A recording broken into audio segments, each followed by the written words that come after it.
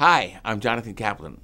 Welcome to Trailers from Hell. I'm here to talk about my fifth movie, the first picture I made for a major film corporation, Columbia Pictures, the modern Western with trucks instead of horses, White Line Fever. Carrol Jo is back. Jerri waited two long years.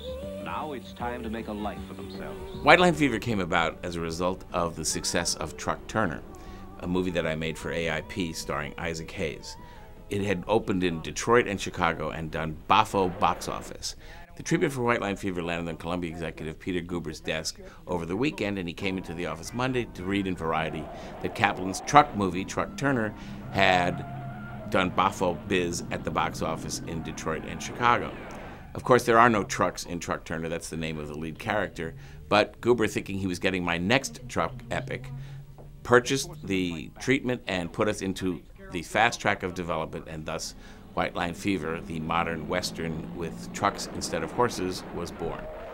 Written by me and Ken Friedman, uh, we had both driven across the United States to come to Los Angeles and been impressed with uh, the number of trucks that almost killed us on our way there. So, both being Peckinpah fans, we tried to do a sort of Peckinpah like picture about a truck driver on a rampage of revenge when his employment is taken away after he's served his country in the Air Force.